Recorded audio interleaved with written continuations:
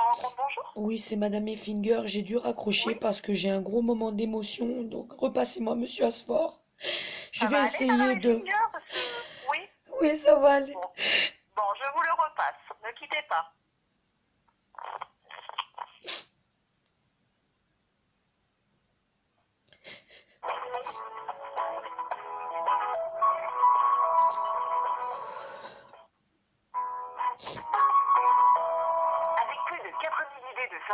Sortie, la Gironde se révèle chaque jour et à chaque...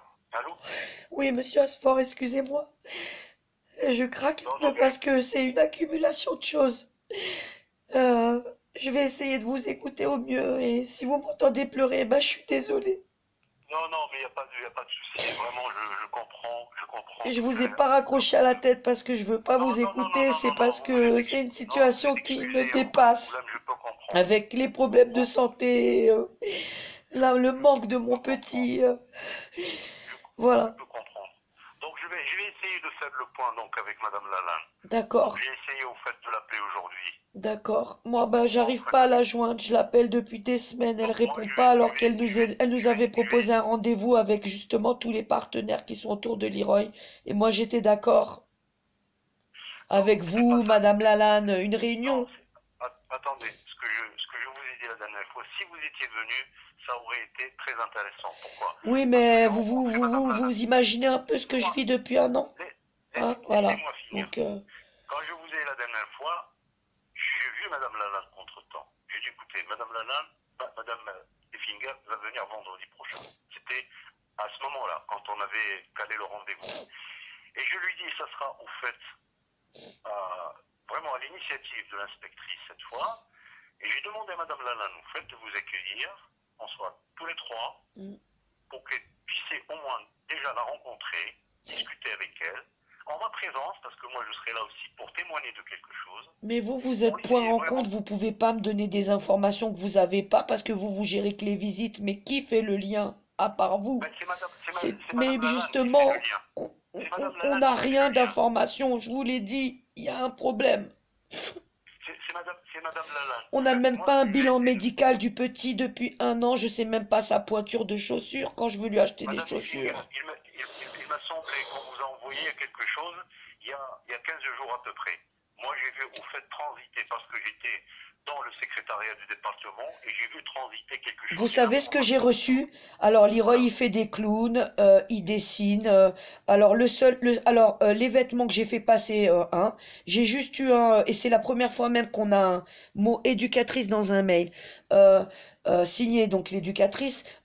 il a bien apprécié les gommettes que vous lui avez fait passer. Et c'est Oui. tout ce que je, c'est tout ce que j'ai d'informations. Il mange bien, il dort bien, il progresse bien à l'école. Euh, on va vous envoyer quelques euh, travaux scolaires de Leroy pour vous voyez un peu comment il évolue à l'école. Rien de tout ça, monsieur Asfort. Euh, comment va la santé de Leroy? Est-ce qu'il a grandi? 110 cm, 17 kg, cordialement, Madame Lalanne. Voici un bilan médical de un an, une année, un bilan pédiatrique. hein. Alors que moi, avant, je vous rappelle que j'avais un suivi PMI, le carnet de santé, on regardait la courbe et on a fait un formidable travail avec Madame Pigou de la PMI avec qui je, je me suis séparée en très bons termes jusqu'à le lendemain qu'ils ont enlevé l'Iran. J'avais des échanges avec cette puéricultrice. Formidable. Qu'est-ce qui s'est passé? Pour qu'aujourd'hui, un an, j'ai pu tout ça. Donc c'est important ce lien avec un médecin. Vous comprenez ou pas expliquer, mais je, je, je pense qu'il a un médecin. Je pense qu'il a un médecin. Mais moi, je sais pas. Non, mais je vous le dis, je vous le dis. Je Moi, j'ai trouvé que Leroy avait pas pris beaucoup de poids, hein, alors qu'avant, il prenait du poids. Mais un placement, on sait que ça freine la croissance aussi. Non, mais Il y a un choc. bien entendu. Bah, bien entendu. Vous savez au fait c'est peut-être sa structure qui est comme ça. Donc il est vraiment allongé, il grandit. Ah non, ah non. Vous savez combien mesurait le papa de Leroy? 1m60. Sa maman fait 1m65. Euh, le papa, le papa de Céliste Ricci fait 1m92. Ses enfants font 1m80, 1m90. Mais oui, mais il faut rien. De toute façon, il faut pas. Leroy, il est né avec des toutes petites jambes. Hein, euh, là, Il il, a- il a- euh, donc il grandit, mais il prend pas de poids. C'est pas La normal. courbe, la, la courbe, au fait, il est complètement parfait. C'est un enfant. Moi, Parfait. je dis, il est en bonne santé. Il est en très bonne santé. Il n'y a vraiment aucun problème par rapport à ça, si je peux vous rassurer. Parce que j'ai quand même passé un peu de temps avec l'éducatrice qui le suit et qu'elle m'a dit effectivement qu'elle va bien. Et qu'il a un médecin comme tous les enfants. Il n'y a aucun problème par rapport à ça. Voilà. Moi, je vais voir, vous faites Madame Lalanne demain. Mm. D'accord Mm. Parce que dans la procédure du point rencontre, je vous l'explique, vous l'avez Mm. signé ce- cette procédure. Ça veut dire que quand je convoque les parents trois fois et qu'ils ne viennent pas, On je suis suspend. obligé, au fait, je suis obligé de demander une suspension provisoire. Ok. Oh, bah, c'est super. Mais Bah, c'est attendez, super. Attendez, mais laissez-moi finir. Nous, on a un juge qui nous répond pas depuis six mois, donc euh, vous comprenez, il répond même pas à mes enfants pour les visites, y compris le frère aîné.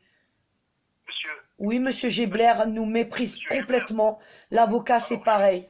Donc, qu'est-ce qu'on fait maintenant écoutez-moi bien, je fais le point demain. Oh là là là là là là. Avec ma... Écoutez, je vais faire le point demain matin. Ouais, ouais. Parce que j'ai essayé quand même, j'ai essayé au fait de, de l'appeler tout, tout l'après-midi, mais on m'a dit qu'elle était en audience.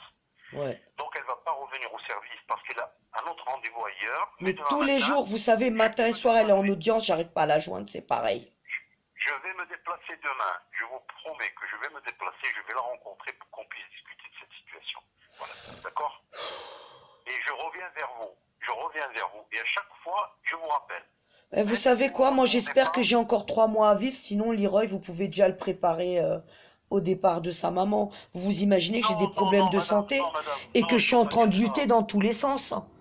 Il faut pas dire ça. J'ai un cancer, monsieur Asfort, vous savez ce que c'est? Oui, je, je, je, je compatis. Ah ben non, mais moi je moi je sais pas ce que c'est. Je viens de l'apprendre. Donc dans les semaines qui viennent, on enclenche euh, des rendez-vous et des suivis de dingue avec beaucoup de médecins. Il y a eu un staff médical sur ma situation médicale. Donc je vais avoir tous les résultats le 3 juin. Je suis bien obligé de vous tenir au courant, vous tous. Oui, non, mais bien Ah ben il va falloir qu'on accélère les choses parce que là on en est déjà à un an pour revoir mon enfant. Donc euh, le- la prochaine fois c'est mon enterrement. Si jamais je survivais pas, je suis solide mais faut pas déconner. Faut être lucide quand même. J'espère que non. Ah bah moi aussi j'espère qu'il va pas m'emporter ce cancer, mais ma famille, mes amis sont inquiets. Voilà, tout à fait. Et vos, et vos enfants. Voilà. Et surtout vos enfants. Donc voilà. Donc vraiment, demain, je fais le point avec euh, Madame Lalanne et je reviens vers vous. Si je n'arrive pas à vous avoir directement au téléphone, je vous laisse le message. Donc après, ah donc suspension des visites et après ça se passe comment Non, la, su- la suspension, au fait, elle est tout le temps provisoire. Pourquoi Parce que c'est la procédure qui est comme ça.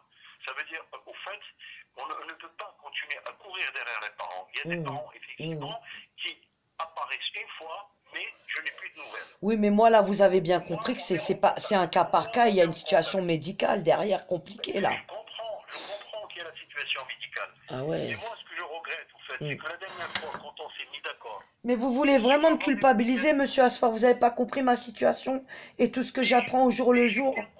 j'ai des convocations tous les jours à l'hôpital là. J'ai bien compris, Oh là là. compris, effectivement, que vous ne pouvez pas. Alors, moi, ce que je vais faire. Et je cherche un logement aussi pour pouvoir ramener mon enfant auprès de moi. Donc j'ai des rendez-vous sociaux. Donc ça aussi, Madame euh, Lalanne, elle le sait. Euh, je rentre dans le système social, suivi MDSI, assistante sociale. On reprend toutes les demandes de logement sabotées par la collègue de Madame euh, Lalanne au département, Madame Texia à Bordeaux, l'assistante sociale qui a merdé. Vous vous rendez compte un peu ma situation? Vous pourrez pas me faire culpabiliser. Hein vous vous rendez pas compte, Monsieur Asfort hein Moi, on peut me demander d'être forte, d'être forte, d'être patiente, mais vous vous rendez compte un peu tout ça pour une seule maman. Ah ouais, c'est balèze. Hein. Donc j'ai le droit de craquer, pleurer. Hein. Je suis un être humain, monsieur. hein. Tout- vous avez tout à fait le droit. Vous avez tout à fait le droit. Je vous le conteste absolument pas. Vraiment. Ne croyez pas une seule seconde que nous sommes au fait euh, à des postes comme ça. Euh, Nous sommes à des postes comme ça parce que aussi nous sommes porteurs d'humanité aussi. Et on Mm. essaie au fait de, de, de mettre de l'humanité au fait dans les relations parents-enfants. C'est ce qu'on essaie de faire dans ce service. Ne croyez pas que nous sommes dignes de tout sentiment, de toute empathie. Ouais. Vraiment. Je comprends et je vous comprends. C'est pour ça que je ne vous lâche pas. Ça veut dire que je, je- même si vous ne me rappelez pas, je vous laisse à chaque fois le message. À 12 chaque- mois, monsieur Asfort, c'est dur. Hein. 12 mois sans mon enfant. Mais oui, mais je comprends, je Oh là comprends. là là là. Et 60 minutes par mois pour réparer. Est-ce que je peux. je- de- demain, au fait, on voit sur cette question de suspension provisoire Oui. avec le magistrat. Et je vais demander, au fait, à Madame Lalanne de vous lancer une convocation Mm. pour qu'on puisse se rencontrer. Parce qu'il faut absolument que vous puissiez rencontrer Madame Lalanne, qui est l'inspectrice, qui est votre première inter- interlocutrice Mm. sur le département. Donc il faut absolument qu'il y ait cette, euh, cette réunion-là. Cette, euh, Au bout d'un an, vous vous rendez compte quand même. Et moi, j'étais en demande depuis le début d'avoir un des interlocuteurs. C'est normal et ça se serait jamais passé comme ça, les un an. Et on aurait vraiment épargné Leroy. Je vous le dis. Si dès le début, il y avait eu le respect même des visites. Madame Lajoie a demandé une visite par semaine et il n'était pas placé au secret. Pourquoi Monsieur Gebler, il est parti sur un placement secret avec pas d'interlocuteur? Oui, non, mais vous, sais pouvez pas. répondre, vous êtes chef du point rencontre et pas juge. Je sais, monsieur Voilà. Donc chacun, chacun prend ses responsabilités, ses décisions selon ses compétences. J'ai bien compris tout ça, Voilà. vous inquiétez pas. Voilà. Et on essaie ici vraiment d'appliquer la loi avec humanité. C'est ce qu'on essaye de faire. Vraiment. Et je ne sais pas si vous l'avez senti, mais nous sommes au fait là-dedans. Moi, vous m'observez comme je vous observe, hein, si on est censé travailler ensemble, vous comprenez? Donc, euh, oui. voilà. C'est ce que je vous dis. Bah écoutez, j'attends votre appel demain. Voilà. J'ai pas normalement de rendez-vous prévu, mais je vous dis, là, j'ai dû remettre les chaussettes de contention, je peux pas marcher. Les jambes, je sens pas les terminaisons nerveuses des pieds. Donc j'ai aussi un problème à la colonne vertébrale. Alors, si Je- jamais vous savez, je suis un soldat, hein, monsieur, monsieur, monsieur euh. Asfort, sans me vanter. hein. J'ai beaucoup de pathologies médicales et j'ai une force à rester debout et à pouvoir gérer un enfant. Les gens étaient surprises, étonnés de, de, de, de ma force. Mais là, je commence à être très fatiguée parce que ça fait beaucoup, beaucoup, beaucoup. À, quel moment ça pourrait effectivement vous convenir si jamais il y a un rendez-vous avec madame Bah, dans la journée, parce que déjà au niveau des transports, il y a beaucoup, une affluence, beaucoup de monde dans les transports. Je me fais bousculer, je dois pas marcher trop vite. Vous comprenez ou pas? Début d'après-midi? Oui, c'est beaucoup mieux pour moi le début d'après-midi. Parce que ça évite qu'après on, soit dans les, dans les bouchons, les transports. Demain, Bondé, je vais quoi. la proposition. Demain, Ouais. je vais faire la proposition. Donc début d'après-midi, ça me convient bien. Et éviter les mardis après-midi parce que j'ai souvent des consultations médicales. Pas les mardis après-midi, Oui. d'accord. Donc, Et après, comme je vous ai dit, ça peut évoluer parce qu'il y a maintenant l'oncologie euh, centre-Aquitaine de Pellegrin qui me suit. Donc euh, là, pareil, hein, euh, je sais pas à quel rythme je vais avoir des rendez-vous, quel mardi, suivi. Ça peut être les autres jours. Euh, oui, oui, éventuellement, ou voilà, je suis obligée maintenant, ben, on va devoir faire avec les rendez-vous médicaux, monsieur Asfort. Et c'est pas de mon fait, je reçois dans ma boîte mail des convocations pour des examens. Donc, euh, Donc voilà. Donc euh, je vais la voir. Si jamais je n'arrive pas à vous joindre. donc là, je voudrais quand même vous dire que le 3 juin et le 6 juin, vous pouvez ne pas me convoquer. Je suis à l'hôpital pour Alors, des attendez, examens. je attendez. Le 3 et le 6, c'est officiel, j'ai ça dans ma boîte mail. hein. Et le 6. Oui, donc convocation médicale, hôpital, examen, madame. Donc, euh, Et le 6 juin, voilà. pas possible. On m'injecte des produits, on m'explore, euh, je peux pas après al- aller à des rendez-vous au point en compte, c'est pas possible. D'accord. Directement, je vous laisserai le message et je vous envoie le. Bien sûr, et moi je m'engage à vous rappeler. D'accord. Voilà, en dehors des heures ouvrables, quoi. Je- en Bien sûr, je sais qu'il y a un pont à la fin de la semaine, il me semble. Donc, euh, vous pouvez ne pas être là le vendredi. Euh, je pense que euh, Oui, dans, la fonction là. publique, ils vont faire les, ponts, on non? D'accord, donc jusqu'à jeudi, je peux vous joindre. Ça marche. Ça marche. Eh ben, écoutez, j'attends donc de vos nouvelles demain. Je vous remercie, monsieur. Asfort. Bonne fin d'après-midi. revoir. Au revoir. Il n'y a pas de souci comme le père.